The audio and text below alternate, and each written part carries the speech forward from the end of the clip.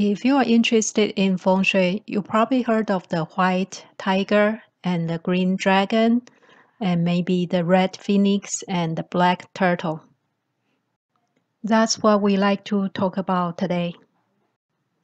There are five magical animals from Chinese mythology, and each animal represents one direction north, east, south, west, and center. If you are standing in the middle of a house and facing the front entrance, on your left side is the green dragon, on the right side is the white tiger, and in front of you is the red phoenix, and behind you is a black turtle. And there are some basic rules applies to these animals no matter which style of feng shui you practice. These rules applies to exterior of the house and also the interior. Even a small table, it has the direction of the green dragon and the white tiger we can look at the diagram of the house in relation to all the animals. In the ancient Chinese map, the south is actually on the top and the north is on the bottom. So this chart will correspond to that type of map. So in front of the house is a red bird or red phoenix the red is the color of the fire element and uh, it's the direction of the south. The red phoenix area is related to future career development or traveling. So we want the place to be open and not obstructed by tall buildings or other tall structures. When the front of the house is open, that means the bird can fly very high and freely. It also means good luck for your future career. In the back side of the house is a symbol of the black turtle.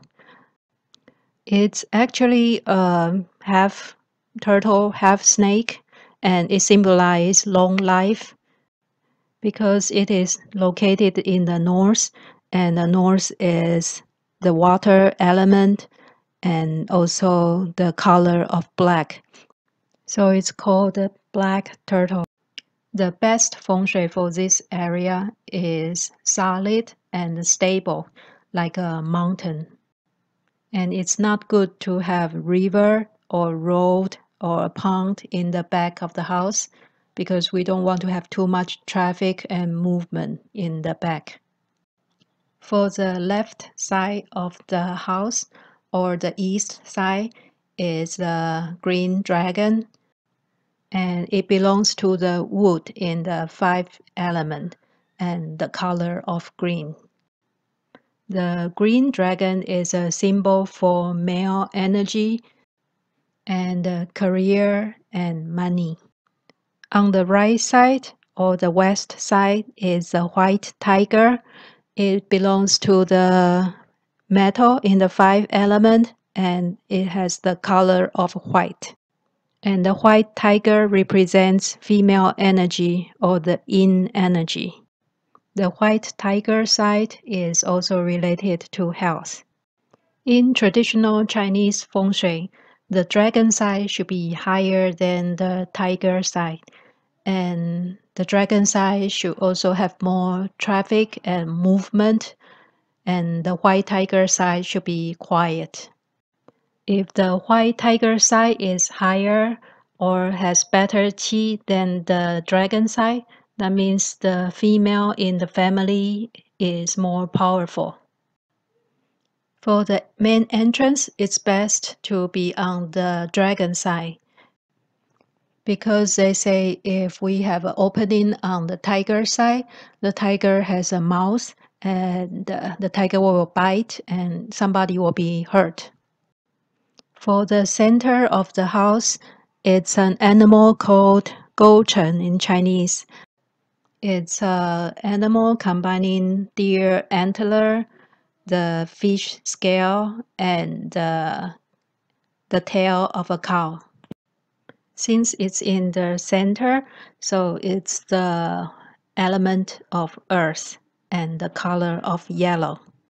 This area is about storage and balance of the whole house, just like the heart of a human being. All five areas should be in harmony and we don't want to have one extreme in any direction. That's the basic of the five feng shui animals. If you have any suggestions or questions, please leave in the comment below. And don't forget to subscribe to our channel for weekly feng shui videos. Thank you for watching.